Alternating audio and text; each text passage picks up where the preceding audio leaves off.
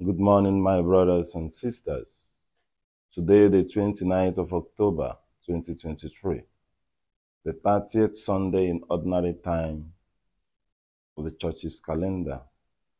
Our first reading today is taken from the book of Exodus, chapter 22, verse 21 to 27. Our second reading is taken from the letter of, first letter of St. Paul to the Thessalonians, chapter 1, verse 5 to 10. The gospel reading is taken from the Holy Gospel according to Matthew, chapter 22, verse 34 to 40. Our reflection this morning the whole law is summarized in love. The whole law is summarized in love. The Christian catechism is not difficult. It can all be learned in one lesson. If we obey the commandments of love, we fulfill the whole law. The rest is just a more comment and explanation.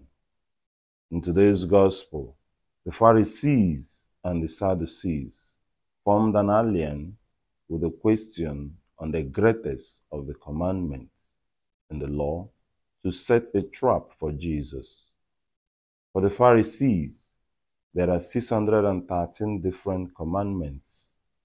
248 of them are positive, you shall commandments, and 365 are negative, you shall not commandments. For the Pharisees, it is a common belief that salvation is dependent on the fulfillment of the whole 613 commandments. But how could one even remember them, not to talk about fulfilling them? As a result, some moderate rabbis and Sadducees felt that some distinctions had to be made between grave and less grave sins. The trap in this question for Jesus was that by making distinction, he would diminish the importance of some of the laws, thereby creating problems for himself. Jesus escaped their trap brilliantly with not just one but two commandments from the Torah, books of Moses. The first popularly known as the Shema, you shall love the Lord your God with all your heart and with all your soul and with all your mind. Compare Deuteronomy chapter 6 verse 4. And the second is like it. You shall love your neighbor as yourself. Compare Leviticus chapter 19 verse 18.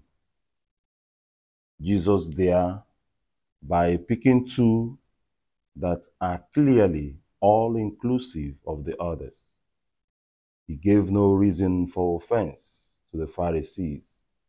By making a distinction, he offers no offense to the Sadducees, who felt a hierarchy was necessary. Jesus clearly shows his genius, as no one before him had ever been able to do, by cutting through the multitude of laws that made life difficult for the ordinary people and exposing the core on which all law depends.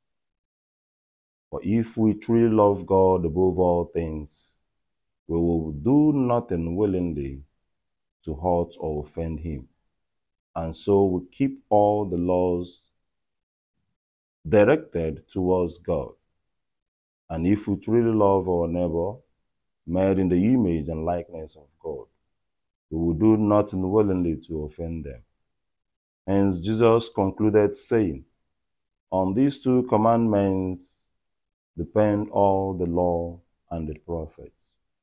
Compare the Gospel of St. Matthew, chapter 22, verse 40.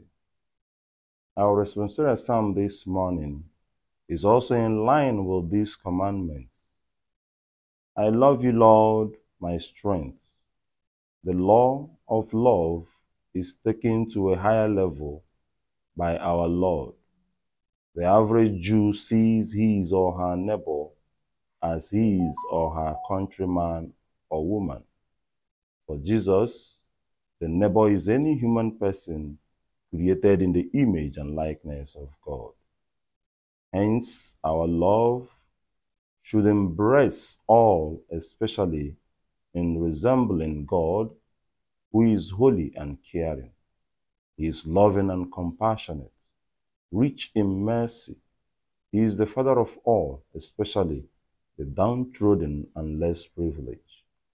He tells the people of Israel in the first reading to show love to the less fortunate brothers and sisters, strangers, orphans, and widows.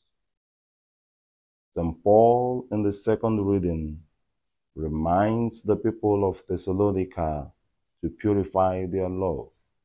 We too are called to purify our love by first imitating our Lord who loves us unconditionally. The evidence of this love must be seen in our relationship with our fellow creatures. Jesus asks us at the Last Supper to love one another as he had loved us. The love of God and neighbor is inseparable. They are immediately connected. That is why they are the first and the second greatest commandments of the law. The love of God and neighbor gives a new, shocking slant to the traditional interpretation held by the Jews. It puts the love of God and neighbor on equal footing. The Apostle John saw it that way since he wrote, Those who say, I love God and hate their brothers or sisters are liars. For those who do not love a brother or sister whom they see cannot love God whom they have not seen. Compare the Gospel of 1 John chapter 4 verse 20. The love of Jesus teaches is an all-inclusive love, a love that is committed to the good of others. The others can be anybody. This kind of love does not come naturally or easily. That is why we must will it. It is a conscious act done in the name and for God's sake. May Jesus continue to be Jesus for us through Christ our Lord. I remain your brother, Reverend Father Desmond Chigozie Oza from DCTV.